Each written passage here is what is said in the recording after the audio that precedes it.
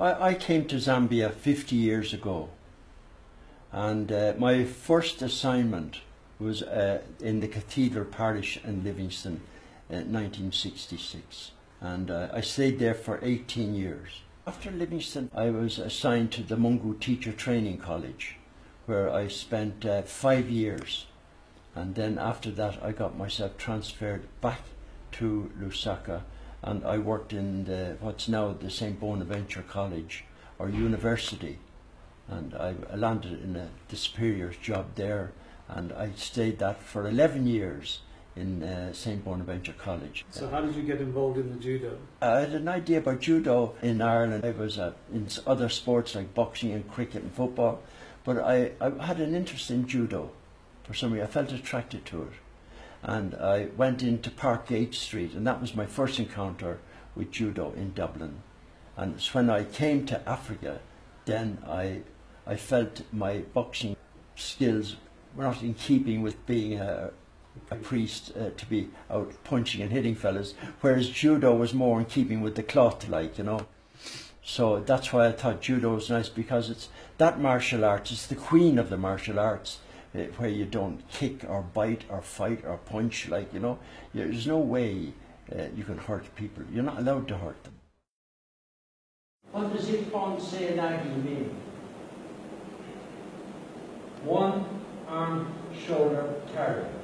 Ippon, one. Seoinage, shoulder, carry. Ippon Seoinage. Right, what you demonstrating? Good You must check him up and you must throw him down and control him. Now, watch this, watch. Now, see the check, legs bent, holding the arm, catching the arm, head back behind the stomach, and he spread out. One, two, three, as big as you can. So in judo, when you fall, you spread your feet, your hand. Good. Now, you're going to throw. You do not let go. Oh, you let go. Hold it. Here's a mistake. If you do this in concrete, your friend goes to hospital. You have to hold on. Now, do that and hold. Straight. Oh. Demonstrate the difference between a yuko, a wazari, and an ippon. Yuko. Smaller throw. Now do a wazari. Half the back. See? No, that's a wazari. Now throw for a full ippon. His back completely on the floor. Throw. Now, you see the feet. You see where they're looking. His feet came over his head. That's Ippon. See the difference? Ippon, full. Wazari, half. You go a third. So it depends on where the, your opponent's body hits the floor. You get a score. So you, so, so you, you started to do judo yourself, and then you got involved in in the coaching? And, yes, uh, one young man called Keith Featherston, and he was something like an orange belt, but he had a little bit of knowledge. So I said to him, "We're going to build. We're going to build on you."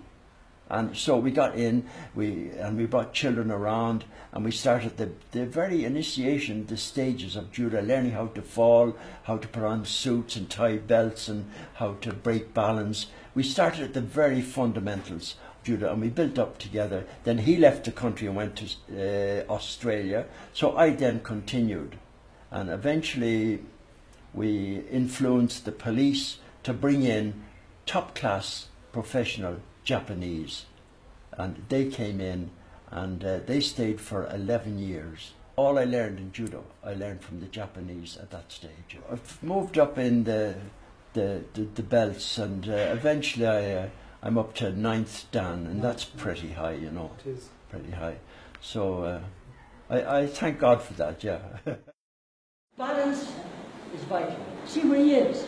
See, it's so easy just to throw. Once he's off balance, push him off, off, off. Now in behind him, and you can throw.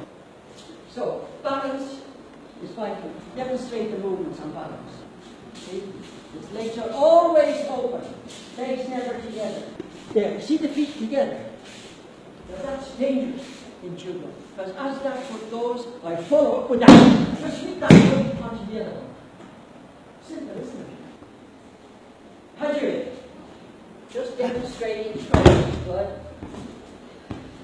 Tai otoshi. There you are. Good. Oh, so to Gary.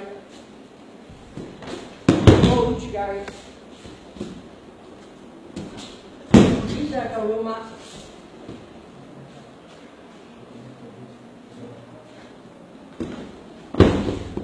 Missouri Kamiyashi. All right, that'll do.